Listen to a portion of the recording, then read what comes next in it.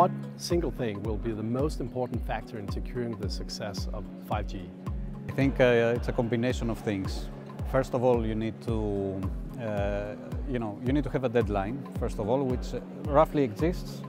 And then you have to have consensus for standards, consensus uh, on uh, technology development, and also on trials. So it's basically these three things. In my opinion, the most important thing in 5G is trust, security and privacy. Trust to your service providers, security of the data and privacy to our users. It's all about the business case. No business case, no go.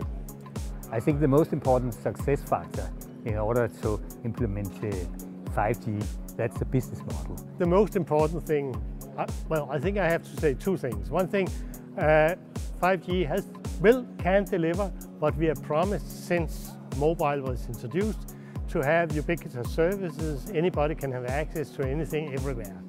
The most important things for 5G will be to find harmonized frequency band. When I say harmonized frequency band, it means the same spectrum which can be used all over the uh, world, in Asia, in Americas and in Europe for having 5G, maybe not in 2020, but in 2022 or 2023 when 5G will really become a reality in uh, the whole world.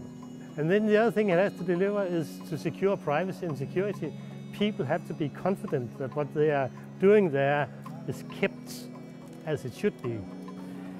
So for me, the most important thing is securing the user and therefore also securing the user privacy also in the future of uh, future networks. And uh, to me, it would be the best success if we could agree that the user privacy should be a key aspect uh, for our future meetings. I think the most important thing for the, to ensure the success of 5G in the future is the collaborative effort of all stakeholders to work together to agree uh, I mean, set of requirements uh, that 5G should address.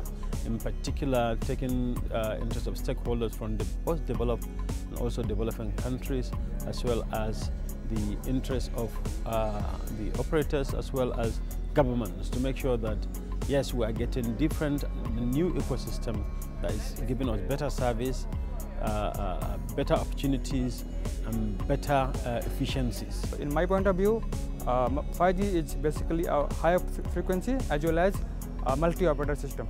That's all. If you want 5G to be multi-vendor, interoperable and have the same level of global roaming as we have with 4G and 3G, then you will need high quality, robust standards.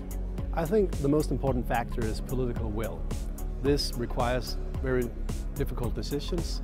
Uh, we will have to, to move forward uh, in uh, creating the right framework conditions for, for 5G, securing the necessary spectrum. This will require political will and, and uh, I think this is a, the key most important thing that we sent from this conference.